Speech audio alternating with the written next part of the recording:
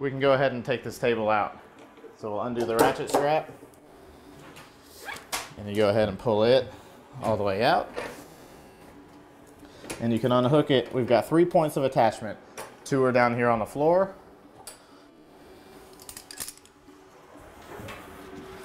So this table can be swung around and into position. Now you might be thinking that this table looks a little bit low, and of course it is, uh, but this table is powered. So you unplug it right here. You go ahead and hook it into the plug. And then now, it is able to go up and down. So we can simply raise it up.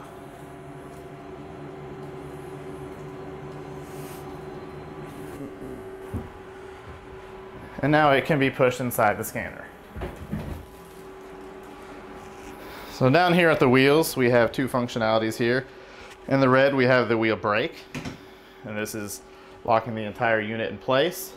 And if you were to hit just the green, that's a steer lock. That's gonna make sure this wheel can't pivot anymore, so you always have a straight in and out path of the table. All right, so once the table's in place, we're ready to go ahead and use the scanner. Now I have not unlocked it yet, but it could be unlocked as soon as you get on scene. So I'll come around to the other side and show you as well. But I'm gonna go ahead and take these T-pins out. Uh, now remember these pins are just keeping the scanner in place so it's nice and secure while we're traveling down the road. There's two pins on each side. Uh, these are very high strength stainless pins. Uh, so all I'm gonna do is press this blue button and pull the pin out. And I'll put it in this holding slot right there. I'll do the same thing to the pin on the other side. I'll depress the blue button, pull it out, and hold it over here. This will help make sure these don't get tangled under the machine. Now the scanner is completely free and able to move. There's one control panel on each side that we can use to move the scanner. I've got a choice of slow and fast. So using this, I can go ahead and move this scanner. This is the fast speed, of course. And this is gonna travel all the way to the end and I can slow it down as well and go a much slower pace. This can also travel all the way back to the wall.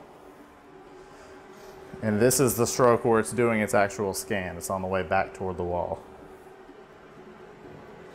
All right. So a lot of the operation can happen from here um, and, a, and a lot more fine tuning can happen here on the control panel. Once we're done with the scan and we want to go ahead and put the scanner back into place, now what you'll notice over here at the very end of the foot plate or the lock plate is some arrows right here that need to align uh, before you're able to lock this scanner into place. So you'll notice they're about a couple inches off right now, so I'm gonna go ahead and slowly move this over until those line up.